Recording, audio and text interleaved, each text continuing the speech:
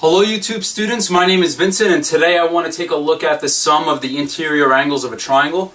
We have in triangle ABC the measure of angle A is 2x plus 7 degrees, the measure of angle B is 4x plus 3 degrees, and the measure of angle C is 3x plus 8 degrees. And we need to find the measure of each angle of this triangle. So now we need the following theorem.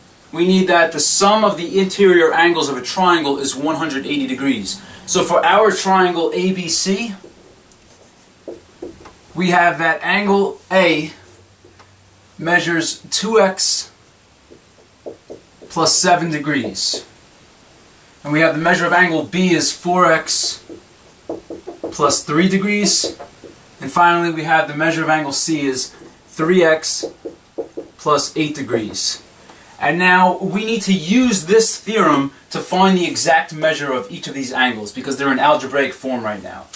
So now we could set up the sum of the interior angles of a triangle is 180 degrees, allows us to say the measure of angle A plus the measure of angle B plus the measure of angle C equals 180 degrees. So now all we need to do is substitute for each of these angles. We have the measure of angle A is 2x plus 7 degrees.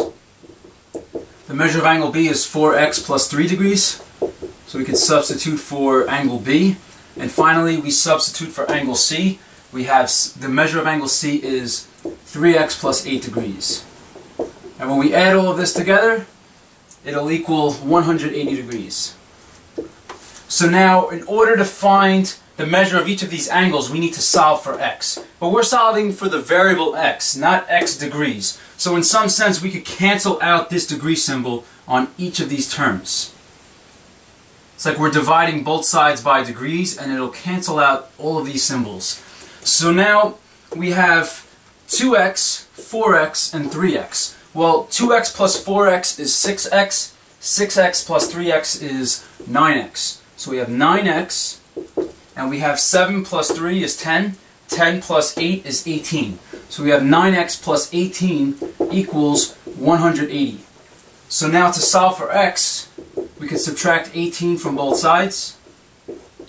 And this gives us 9x equals 162.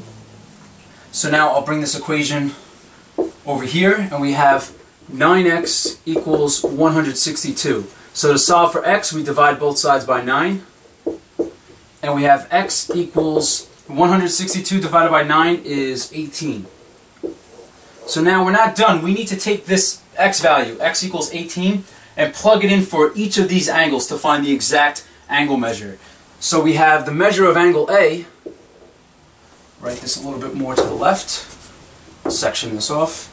We have the measure of angle A equals 2x plus 7 degrees. But remember, x is 18, so we're going to replace x with 18. So 2x plus 7, so you have 2 times 18 plus 7 degrees. And now 2 times 18 is 36. So we have 36 plus 7 degrees. So the measure of angle A is 43 degrees. And now for the measure of angle B, we substitute again. The measure of angle B is 4x plus 3 degrees. So we have 4x, or 4 times 18, remember, we found x equals 18.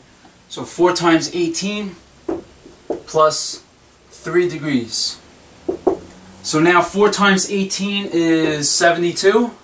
So we have 72 plus 3 degrees. So altogether we have 75 degrees.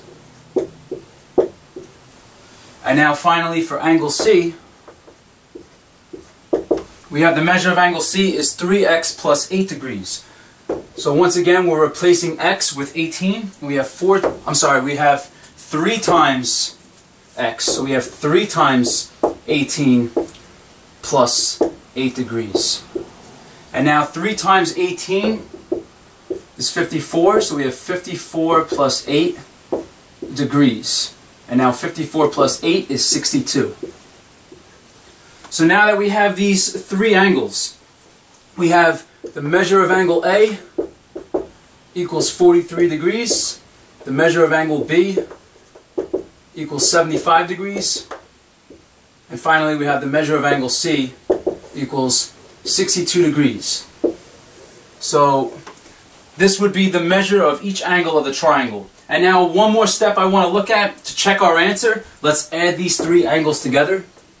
So we have 43 degrees plus 75 degrees plus 62 degrees. And when we add all of this together, we have 3 plus 5 is 8. 8 plus 2 is 10. So we have a 0, we got to carry the 1, and we have 1 plus 4 is 5. 5 plus 7 is 12, and 12 plus 6 is 18. So when we add all these angles together, it brings us right back to 180 degrees. So we know that our answers check. Okay, well this is going to conclude this angle sum problem. Thank you all for watching, and I hope this video was helpful.